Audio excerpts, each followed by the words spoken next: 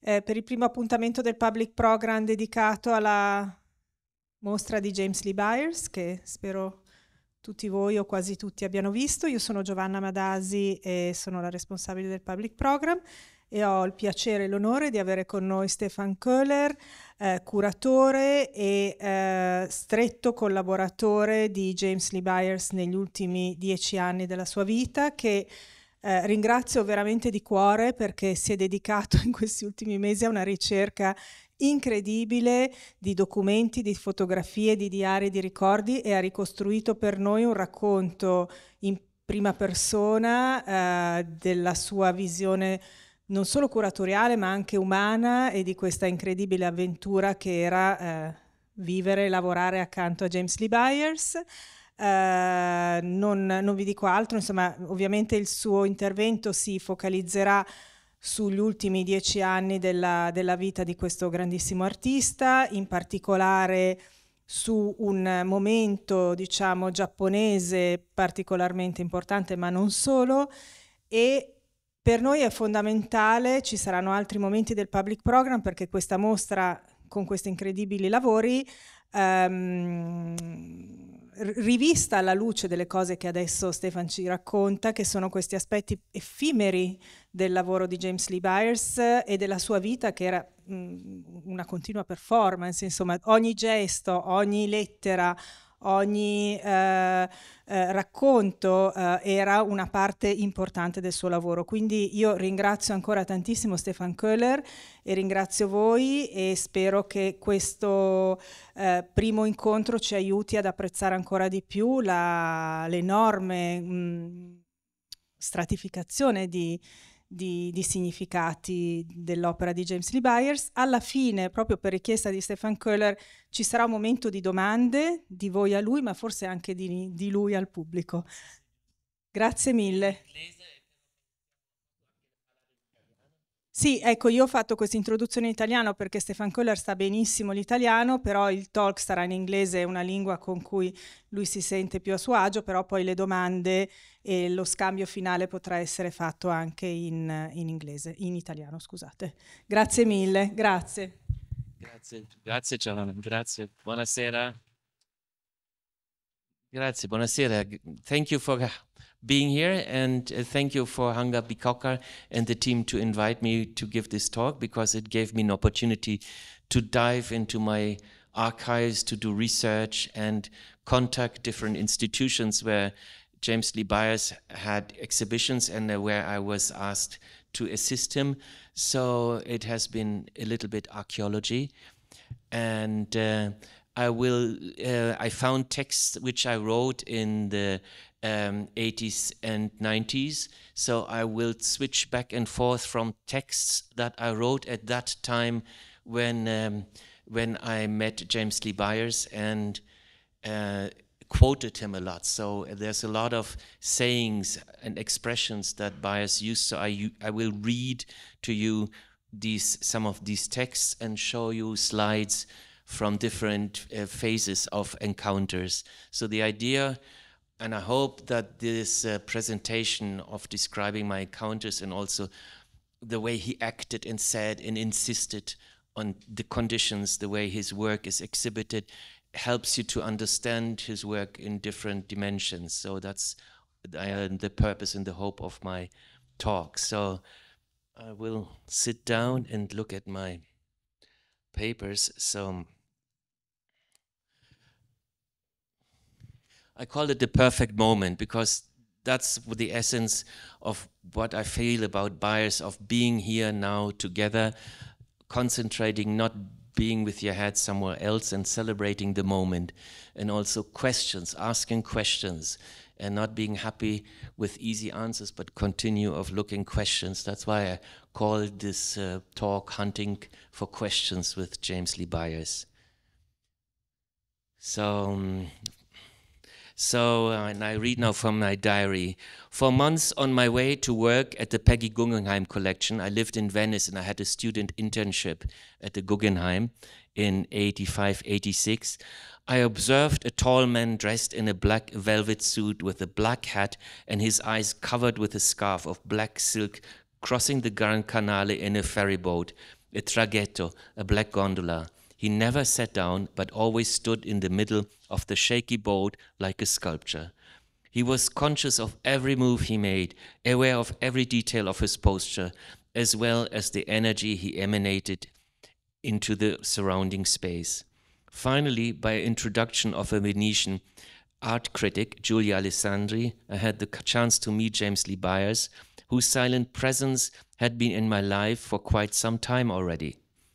Stealing Diamonds! I love the title of your exhibition, James Lee said.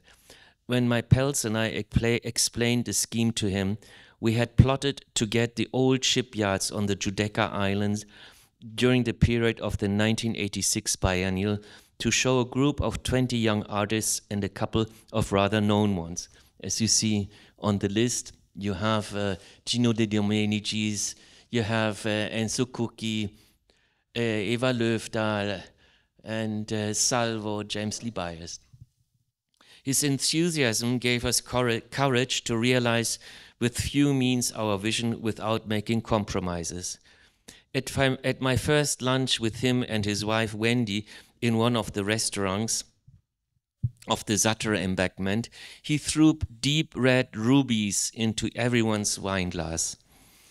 Uh, the little precious seeds transformed the common wine into a poem. Constantly, while eating and talking, James made spheres of the rolls soft inside with great dexterity and precision.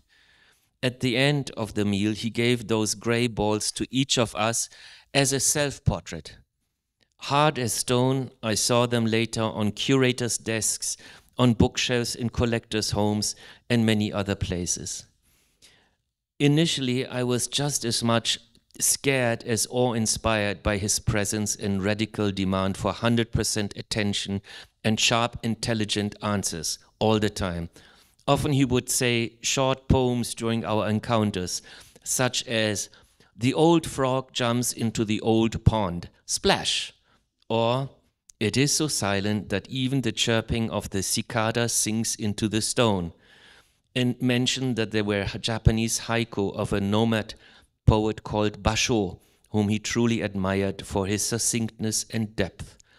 Even though I had read haikus before, it was James Lee Byars who made me understand the essence of this condensed communication, which can penetrate the heart of the listener like an arrow because of its fine tip and then unfold like a flower in your heart.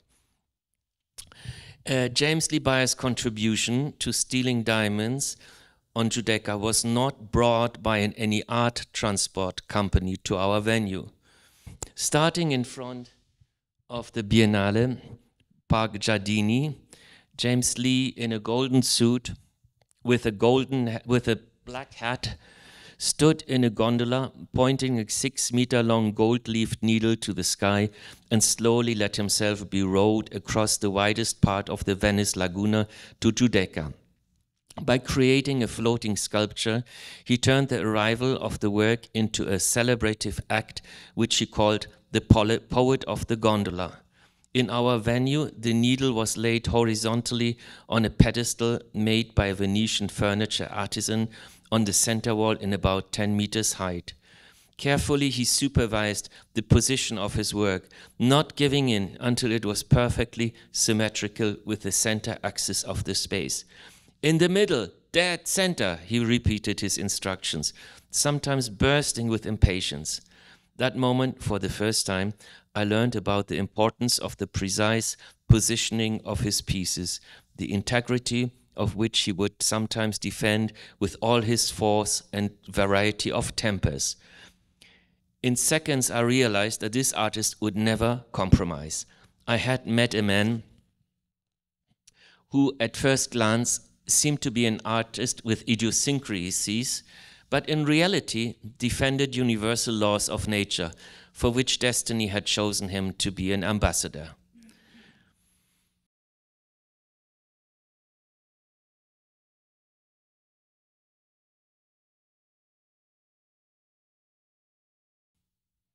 Also I was witness of several performances of James Lee Byars that he did spontaneously. This is one evening after dinner. He said, "Let's we have come now. We have a performance at Punta della Dogana with Wendy, standing at the point, and I don't remember the words they said or the name of the performance, but they were standing at the Punta della Dogana, looking at the moon." The image is unfortunately a little bit fuzzy, but I'm glad I still found it and had it. And then they spread out a red piece of silk. On the right side is Wendy Dunaway, James Lee Byars' wife. So, having a notion that James Lee Byars, in spite of his sharply spoken instructions, did not stipulate difficult tasks to make himself important and send people sadistically around, but to stand up against arbitrariness, mediocre solutions, and lack of awareness, let me say yes when he asked me for my company after leaving Venice in autumn 86. We went to Düsseldorf, where he was invited to have the entire Kunsthalle and install the philosophical pa palace. That's the invitation card for the opening the walls of the, the walls of the Kunsthalle Düsseldorf were not of the color James needed for his exhibition. He demanded scarlet, shun in Japanese, one of his favorite colors, on all walls. Exceeding the provided budget, James Lee had to use most of his honorary to have the walls painted thoroughly red. Without his lips moving, I heard him constantly say, Sacrifice to attain perfection, suffer to attain poetry, slow down to discover beauty. And he just repeated it like a mantra while working. But also, yeah, the windows had layers of tear marks of rain. James Lee demanded they would be all cleaned to return their transparency. They were cleaned. The space under the major staircase of the Kunsthalle had become a junkyard for things out of favor. James asked them to be removed. They were removed. Every motion he made was a defense and integrity to create an undisturbed access to beauty, magic, space, poetry, and perfection. During our heavy German, oh, then I have to insert. Also, he was had a cruel aspect. He he made the director of the Kunsthalle Düsseldorf quite a bit suffer for example, he, they had forgotten to order a lotus flower, flower for his room, the sacrifice of the flower, and it had to be flown in from India on Lufthansa, must have cost a fortune for the Kunsthalle. And uh, he said, um, This exhibition has to be perfect, even if the director will cry tears of blood. So, so during heavy German lunches, James told me about the miraculous disappearings and killing acts performed by Japanese ninja in total silence without having leaving traces. Oh, these are some works. Oh, let me go back to this one. Actually, you see this work in the exhibition in gold leafed. It was gold leafed only a couple of months before his exhibition at the Castello Rivoli uh, maybe Giovanna remember the date, but it was shortly after this one. Yeah. And but it was still white marble from Kavala in Greece. And my one of the tasks that James Byars gave me, he gave me a soft eraser gum, and he said, "You stand there and you clean these figures under they're spotless." So I spent hours before the opening cleaning these this the, the door of innocent and figure of for the question is in the room. So i know them intimately very intimately because i touched them for two days cleaning cleaning cleaning cleaning. But now they're gold leafed and so it's a totally different appearance. Back to ninja. So he told me about the killing acts of ninjas and disappearing he hoped that by listening to his accounts, I would be able to behave like a true ninja. Even though I did not learn to climb walls or breathe on a reed while hiding in a moat, I got a clear insight into what he meant by being invisible at the same time efficiently carry out functions. If one's attitude about oneself and one's relationship to the physical environment was pure and not dominant, one could attain a state of not being present, not being noticed. The third day after arrival, we spent hours in a martial arts shop in an Asian neighborhood of Düsseldorf. With great pleasure, James explained all the vicious looking accessories like flying stars and hooks and etc. Finally, he bought a ninja suit which I was to wear from now on when appearing with him in public. So there we are. I look like a black rabbit. While quality checking thousands of 5 by 5 millimeters books, black paper books with golden miniature printing saying, Beauty goes, you turn it over, avant garde, I thought of James White's amplitude of creation, from the most invisible to the gigantic, from the silent to the noisy, from extreme material presence to the incomprehensible pure idea, all united by his poetry and aspiration to achieve perfection. Make people love beauty and grasp the essence of the moment, sustaining attention by crescendo, decrescendo, piano, and fortissimo. So the ninja stories were only the hors d'oeuvre to countless tales of James' day in Japan from 1958 to 1969. He did not reside in this country to find his fortune or other precalculated reasons, but to live with and recontextualize aspects of Japanese poetic and sensual spirituality. Through his performances, sculptures, poems, and object constellations, he both managed to remind the Japanese of their treasures and bring the heartbeat of the soul of Japan to the West. Having a general letter of introduction by Yanagi Soetsu, many doors meant for for few people sprang open for James and allowed him deep insights for his research and prolific creation of works.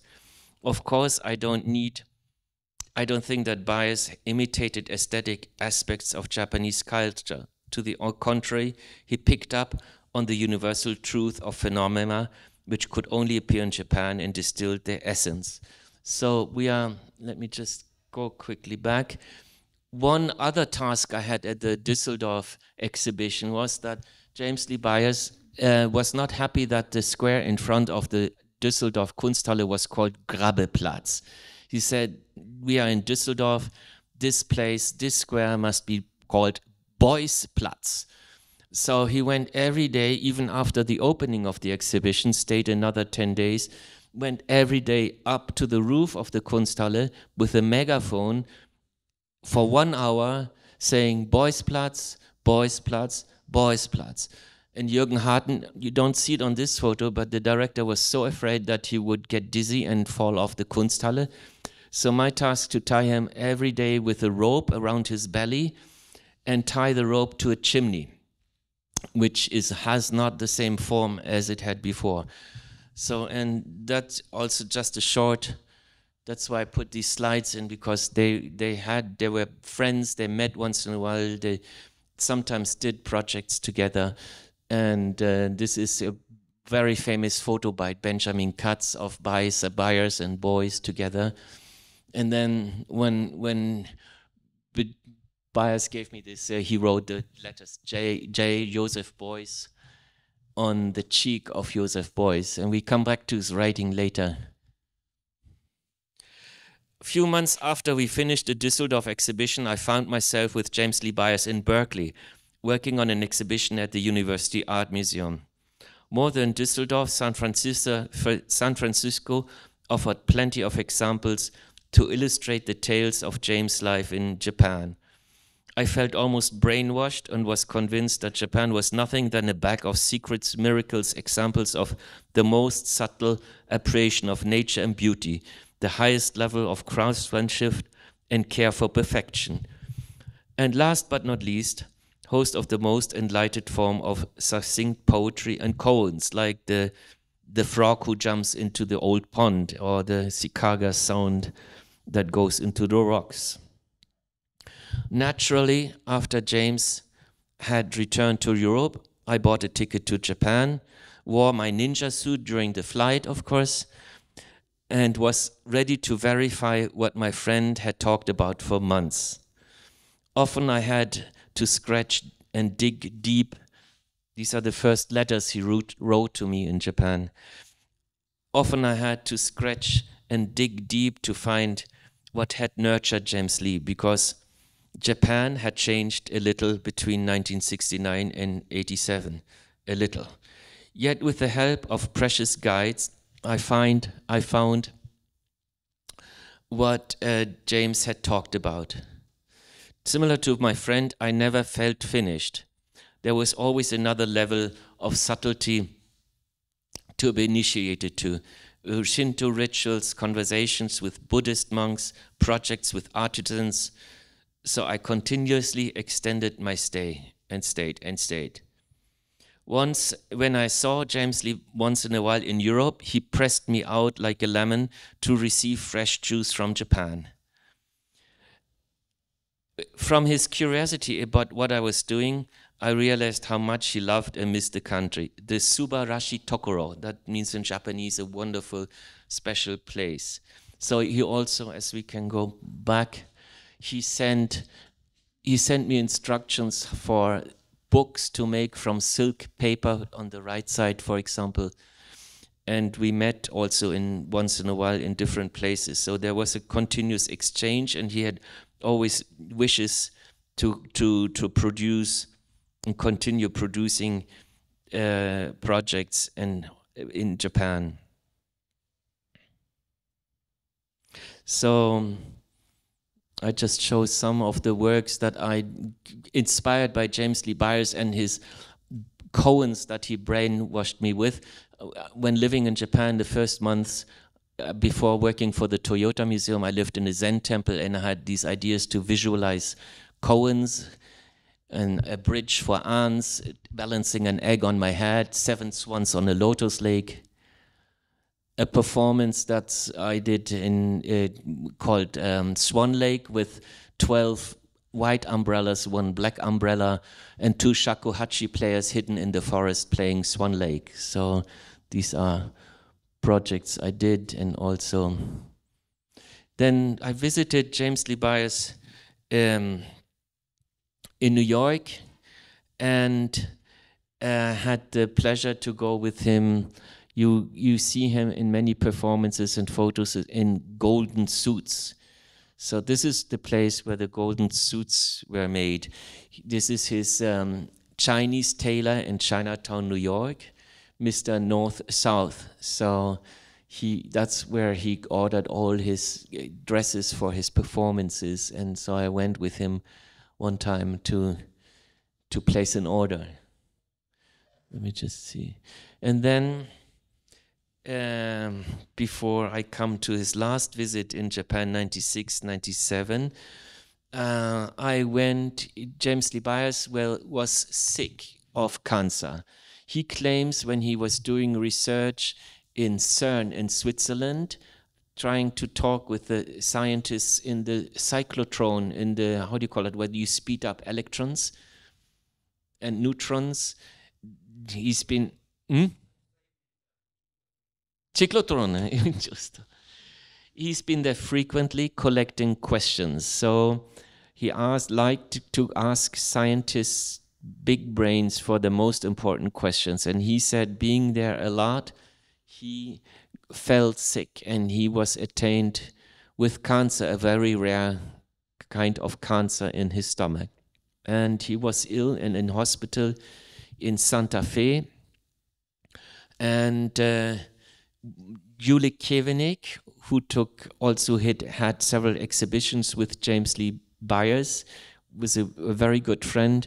We decided one day to fly to Santa Fe and check how James is and make him feel comfortable. And we rented three rooms in this uh, famous La Fonda Hotel and uh, made a, brought lots of things that Byars would like, like flowers and silk paper from Japan, and good champagne and wine, and took rides out to Taos Pueblo a wonderful place, and I'm so glad we had this week together with him in Santa Fe, making him feel comfortable and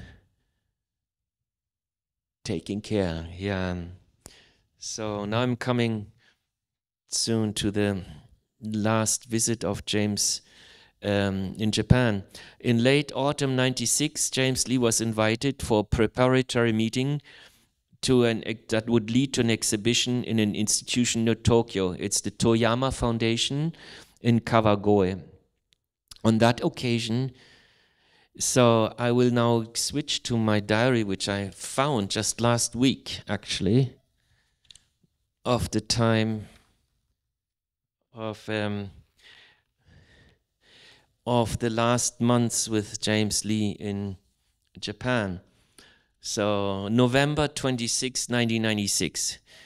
So he was in the with this foundation near Tokyo, and the talks, the prepare, you he they the the people taking care of the exhibition the curators didn't understand at all what he wanted and he got angry at them. And he locked himself up in the hotel room and wouldn't want to talk to anyone anymore.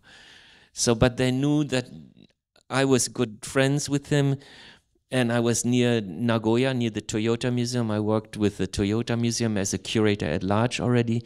So they didn't know how to handle james lee anymore. So they got a driver and drove, had him driven to to to meet me and Mr. Aoki at the Toyota Museum because they didn't know what to do. So James arrived in Toyota at dusk by car driven from Kawagoe, that's this foundation, by Mr. Hirano, a very tired member of the Committee for the Realization of the James Lee Byars exhibition in Kawagoe, as it was proudly printed on his name card. It was, it was very hard for James to get out of the very low car he was surrounded by packs of sembe, that's this rice crackers, and other snacks. Hirano said, We had to stop quite often to buy food. Every time it took ages to look at all the little trinkets and find in the souvenir shops of the gas stations and get back into the car. Very tight, he said, I will go back to Tokyo tonight. Please enjoy his company. And he left. Mr. Heron left, left very quickly after moving James' belongings into my car. In the museum, see, see, we were prepared. In the museum, we had already prepared since early afternoon, since we got the call. Various curators express shopping and putting on ninja suits, which Aoki san had rented actually since they were quite authentic, it took quite a while to put on all the various parts. A work quite similar to setting the sails of a yacht. I wore the old suit which James had given to me in Düsseldorf. The black had already faded and the cotton had lost its, its original strength by frequent washing. Yet I had kept it because it was full of stories. James was quite charmed by the presence of the ninja. No new museum staff had ever greeted him like this. We were hiding alternatively behind columns and jumped out of elevators to surprise him. Even though he was very pleased, he also was very critical of the museum installation, especially of the maintenance of the wall paint's perfection. In front of a mauve color wall near the cashier, we spent almost a half an hour First, James admired the color and the texture. Then he saw more and more scratches and losses and spots. This wall could be so perfect, but look at all the flaws. Drive me to the center. Center! I said, Can't you hear, Stefan? Very impatiently, he directed me back and forth on the wheelchair. I had a hard time to make the simple wheelchair move where he wanted. Almost having disappeared in the elevator, he wanted to be back out once more to look at the black wall in the lobby. Actually, this black wall is much too glossy and irregularly painted. Move me to the center, back, all the way back. See, the spots are not symmetrically arranged and make quite an unpleasant pattern on the black surface. How many are you? Let, actually, how many ninjas are you? Aoki san and I gave our best to be patient. I had no experience so far in moving ill people in wheelchairs around without causing shockwaves when crossing thresholds. James was a great teacher in showing people how to take care of someone who has a lot uh, of pain inside a stomach infested by cancer. So let me see where we. Okay, we can show this. Oh, how does it work? Okay. So this is we. Virtual reality. This is James talking. Go. What asshole? Three flunky boys. Obviously, it has not ever worked very well, and I think it's ridiculous. You know, three golden spheres. Synthetic sphere to me. I mean, it's just lugubrious. You know, lugubrious bullshit. Go, go, go. I don't want to fucking go, go, go, go like that. Go, vertic square. Lugubrious, old Greek man, about eighty years old. The largest amount of gold. Old Greek man, about eighty years old. The largest amount of gold. He was I was here big, I like this big wall gold. I like it. The middle, the middle. Death center, the middle. Fire center, drunk, fire years drunk, twenty years in minutes. He suddenly died. He suddenly died. He suddenly died. Fire, fire.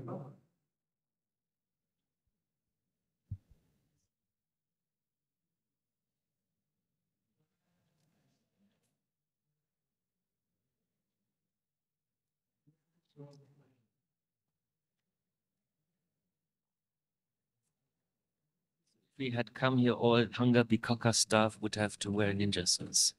S-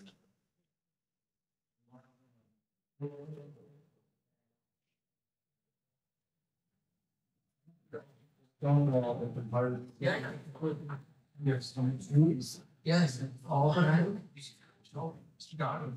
The big one, so. Yeah.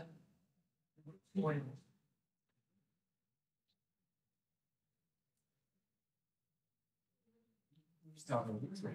Yeah, but not for the whole. Yeah, since it's. Uh, three hundred? Seventy is there? Oh, oh. And the big street there. This system is a beautiful one. Yes. But nothing. Eight meters, nine meters. Ten meters. Eleven meters, twelve meters, thirteen meters, fourteen meters, fifteen meters, sixteen meters, seventeen meters, eighteen meters, nineteen meters, nineteen meters, twenty meters, so now you see the bar below. You see that? Yeah. Okay. So, Ja- James spent two nights in the Toyota Meitetsu Hotel. Just within that short time, he transformed the room thoroughly with a variety of objects he had found during his short stay in, in Japan. There was a carved raman board with two butterflies, two wooden poles covered with cherry bark, a ball covered with tiny dried pink roses, dozens of sheets of wrinkled paper. The first dinner we had in the Japanese restaurant, which was flooded with cold neon light, and the wait and waitresses who wanted to go home as soon as possible. We asked the rigid woman to turn it down. However, our request was denied for technical reasons. November 27th, I spent a slow morning with James in his completely transformed room, spending a lot of time talking in his in the space about the exhibition in Kawagoe, which didn't work out, and the possibility of my picking up why Hiroshima investigation. So jo- Byars had this fantasy, I think, but he was closely, he said, connected to the CIA. He would like to get me in touch with the head of the CIA to investigate why the atomic bomb was dropped on Hiroshima. So he asked me almost every day whether he could give my contact to the CIA or whether I wanted to get in touch with them or they could get in touch with me. And I said, mm, mm, maybe not a good idea. no, thank you.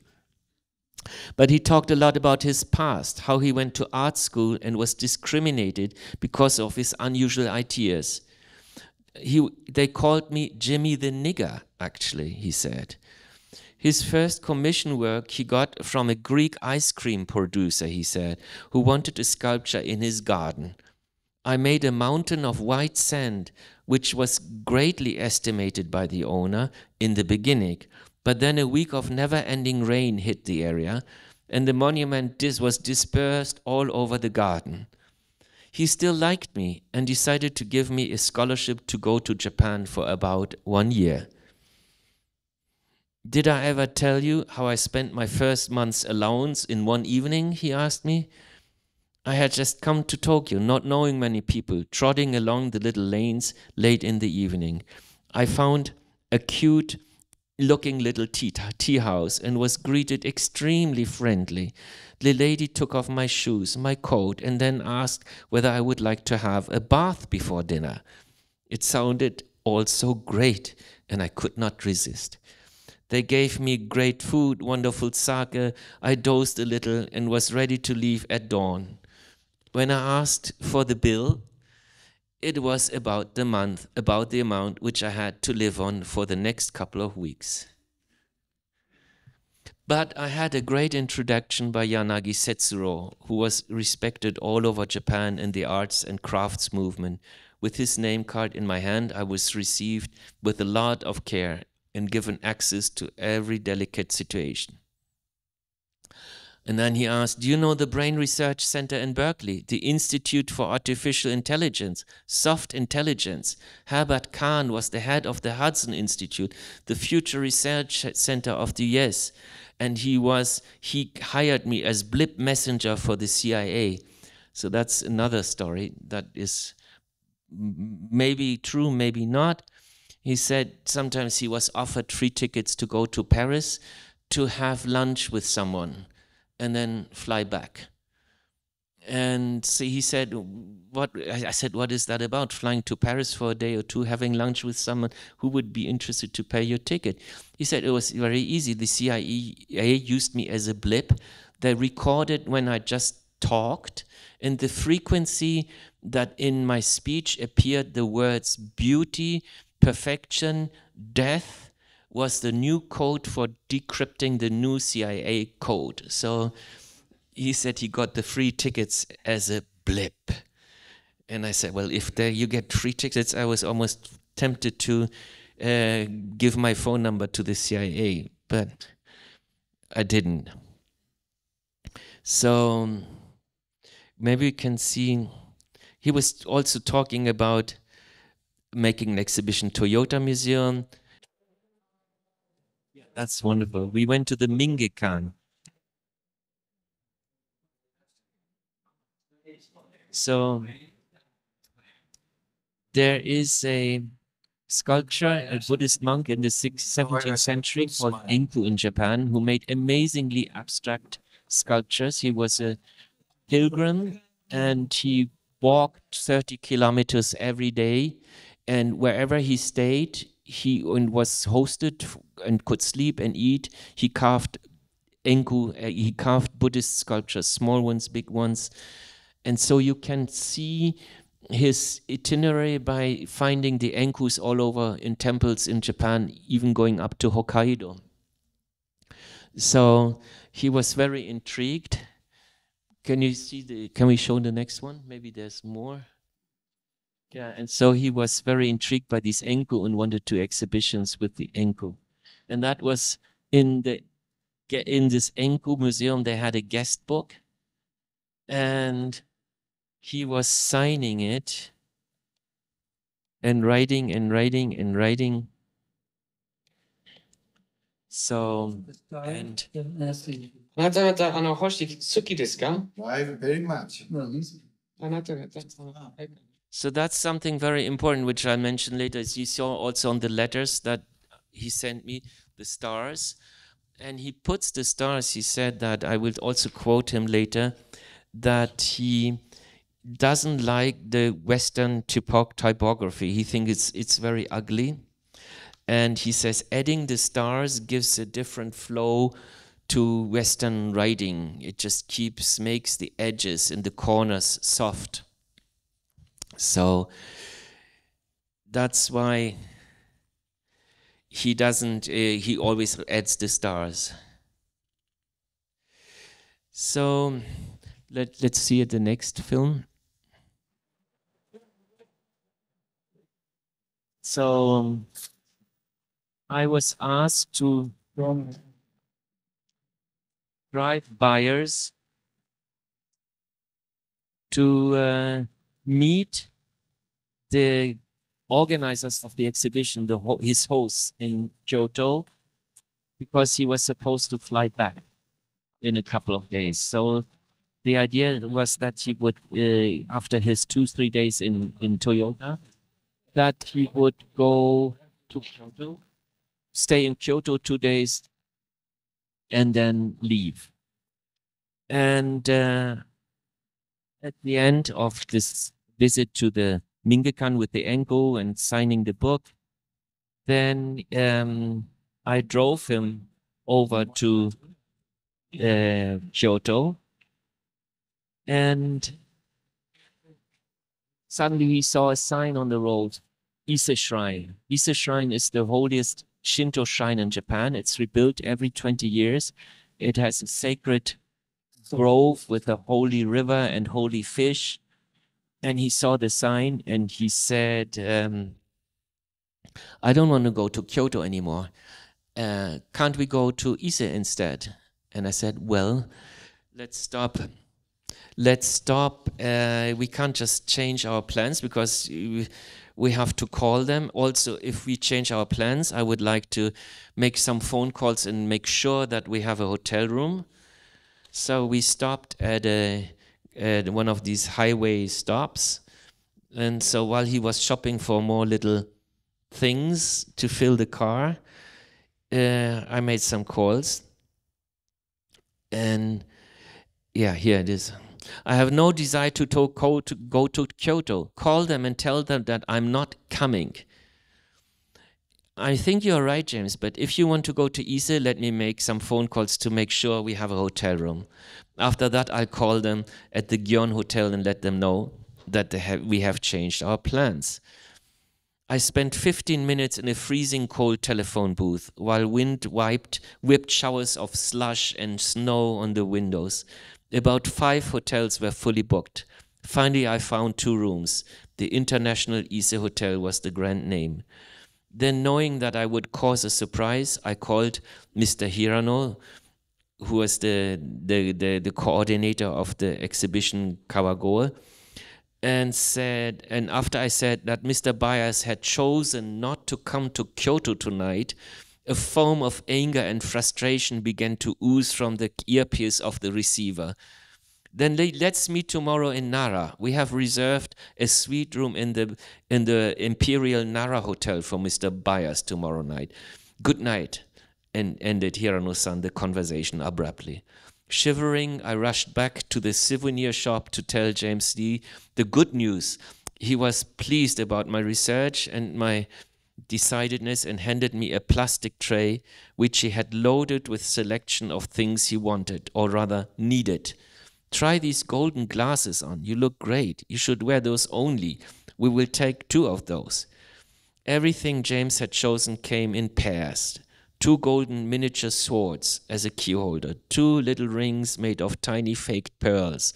All other ob- objects which had any kind of spheres made of brass on them attracted him magically. Would you mind paying? I have no cash on me. Tomorrow in Kyoto, I will get some money on my credit card and pay you back. The bill for the toys and the, the cookies was about 15,000 yen. I'm hungry. Let's have some soba over there.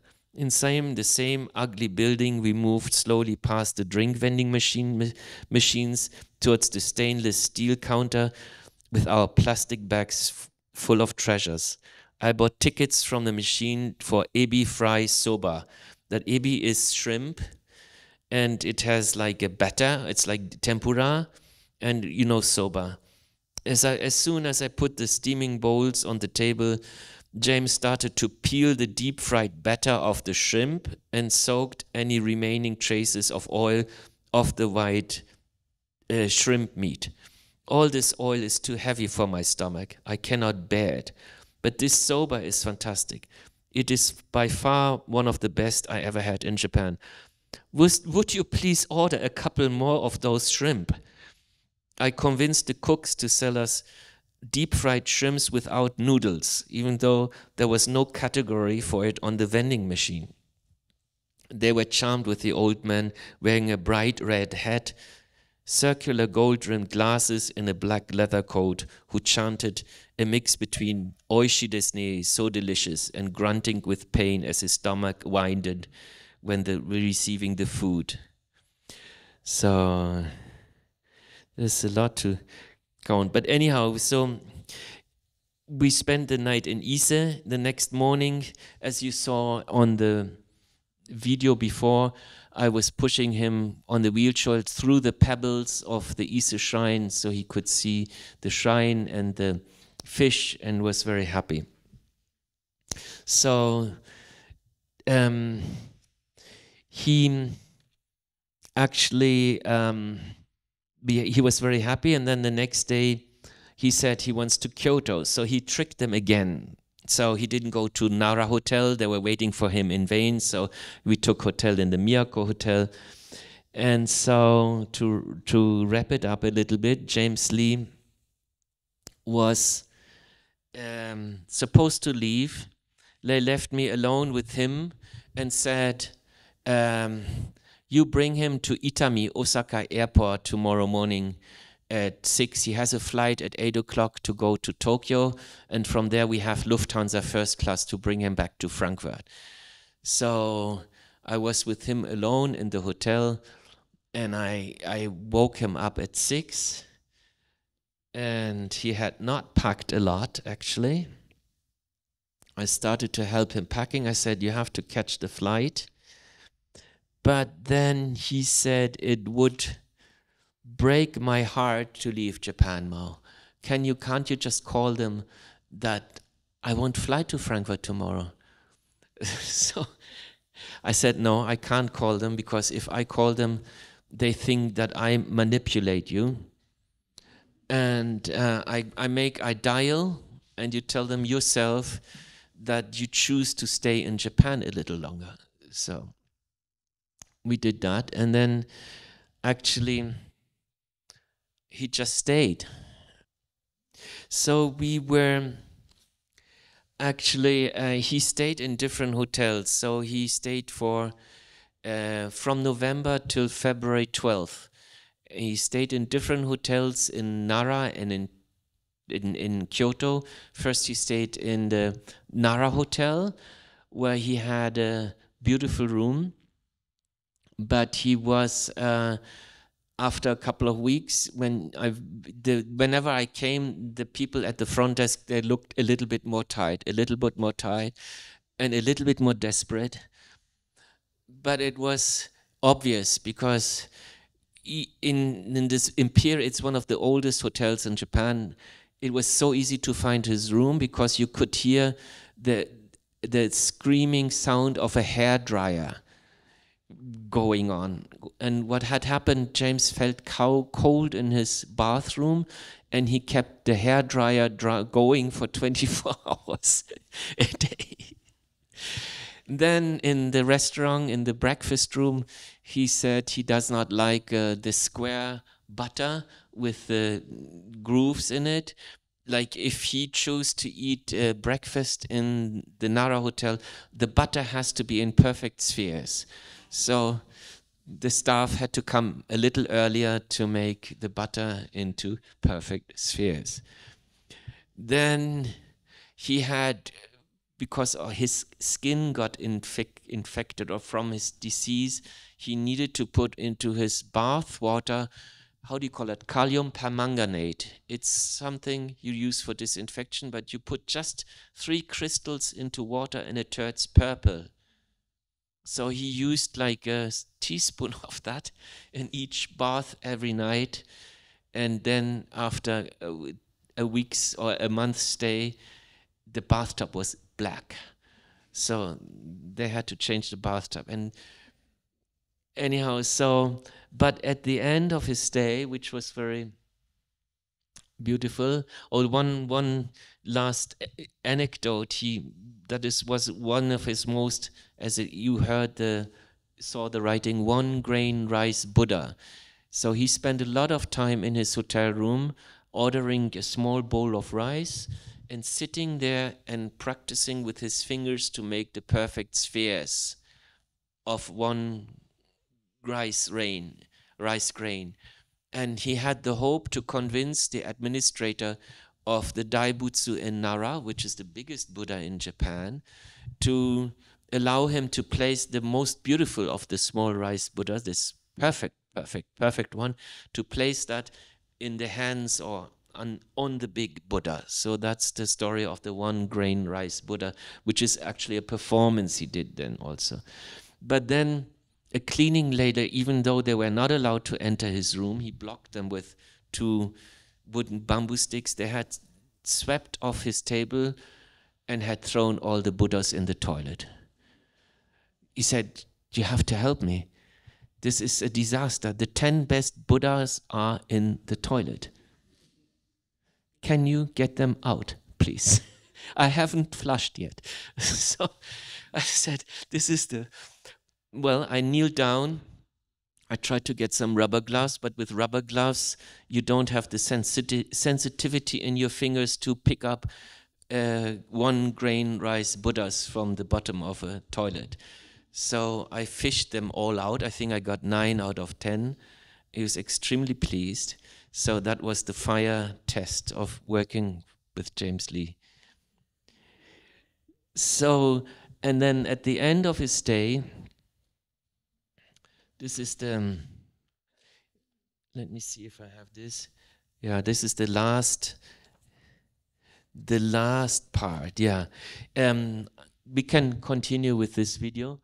So he made a performance in homage to Lindley Hubbell. Lindley Hubbell was a professor of English literature at Doshisha University in in uh, Kyoto and influenced or introduced him or inspired James lot. He died in 95. So, so this is a performance in homage to Lindley Hubbell. So I'm there again in my ninja suit. Hello, I asked Shiseki. I have this extra productions in Nara. Where you have this great. And this he shows the perfect round one grain rice Buddha to the guests. You can see between my fingers. This time it's here. This Buddha There it is. is maybe a very really small Buddha. They have only one rice grain.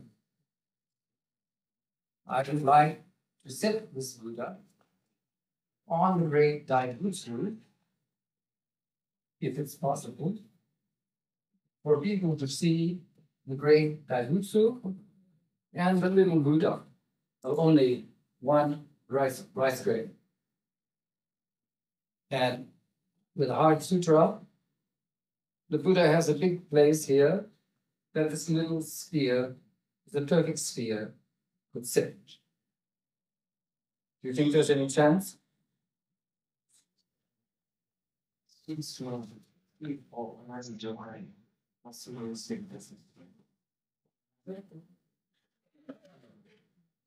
Who's going to do that?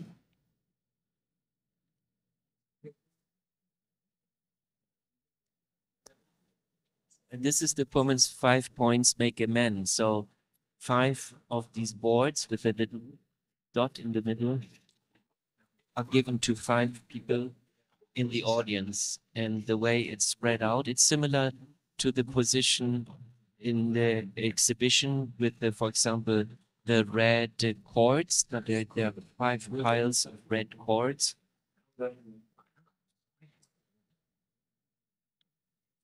Comfortable? Just relax, be comfortable. So now it's standing there for a couple of minutes and then five points of in. Art, star, man, any size, any dimension. If you think Domarga. Sense of positive. Excellent.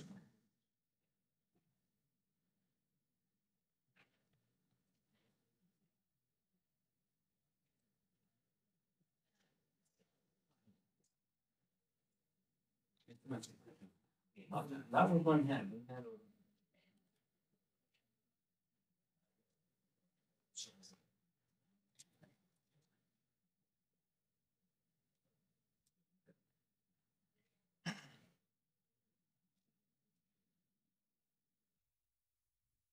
Yeah. So, um, and then very soon after that, Byars really left. February 10th, 1997. I arrived late at night. Can we, let me do the next one so I don't whoop. Yeah, that's the photos of that. Yeah.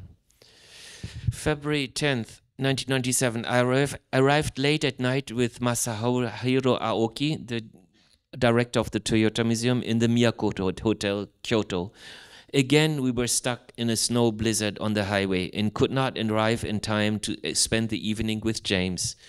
As we came, he was already resting and did not want to see us. Aoki and I had a meal in our room near the room 536 of James Lee in the old part of the hotel. Not renovated, the wooden furniture are worn, the TV is tiny and old, the window frames shaky, and the view over Kyoto marvelous. After our meal, I went to buy James' room to check whether I could help him packing. He was tired, and there was no sign of packing to return to Europe again. On the table, there were numerous objects one, grace, one grain rice Buddhas, the three monkeys of ivory, a, a pile of deer furs, which he had bought in Nara, golden swords, the red hat with the golden scarf on the sofa. After a short conversation, he let me go to bed, knowing that we would get up early. Around 5 a.m., after four hours' sleep, I went to James' room while Aoki san continued to sleep. Actually, James did not want him to come. I entered with a second card key which James had given to me. He was in the bathtub. I sat down in the room. Dawn. A light, came, light cover of snow, snow had turned the view of the small roofs of Kyoto and the row of mountains white and taken away all color. I've been waiting for you yesterday with a great bottle of champagne. Ask whether they would take it off back and off my bill. Let's have a look at these furs.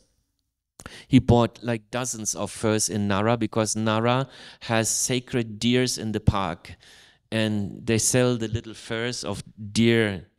And he bought not one, not two, but he bought dozens.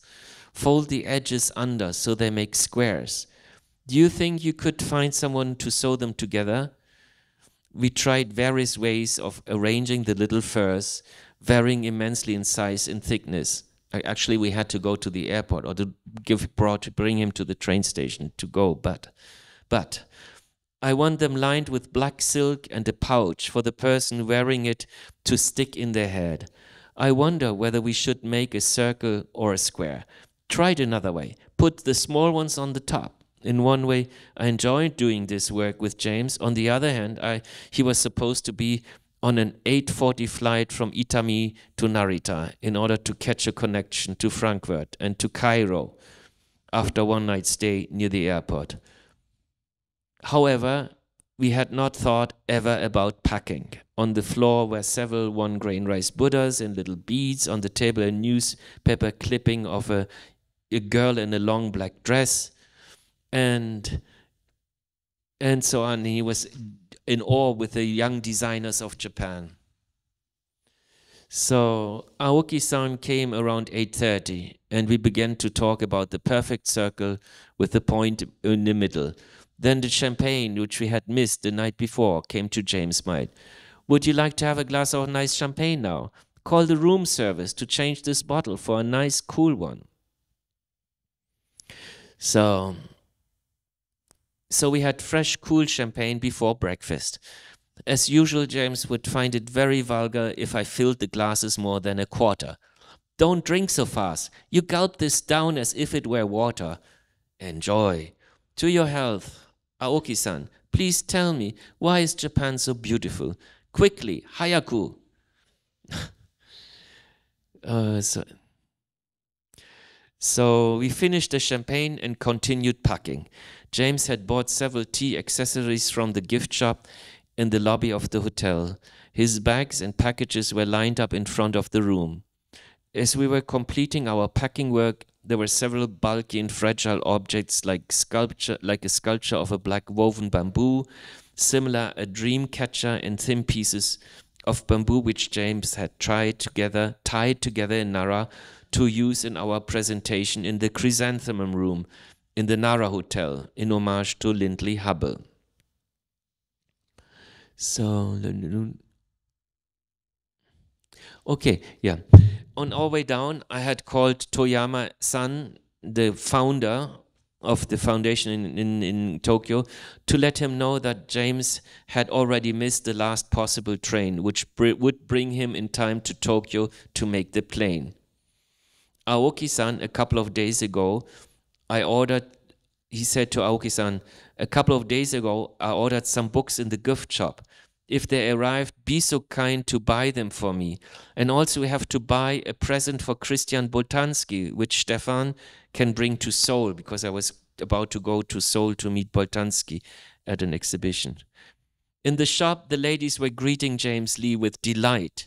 The books had arrived, and Aoki san paid for them, and a pair of silk covered shells with little cats painted on them for Christ, painted on them for Christian. This cute stuff is perfect for Christian Boltanski. And now, Aukin Stefan, you will sign these books for me, right? But then you have to put stars on the letters. These stars serve to balance out the imperfections of typography.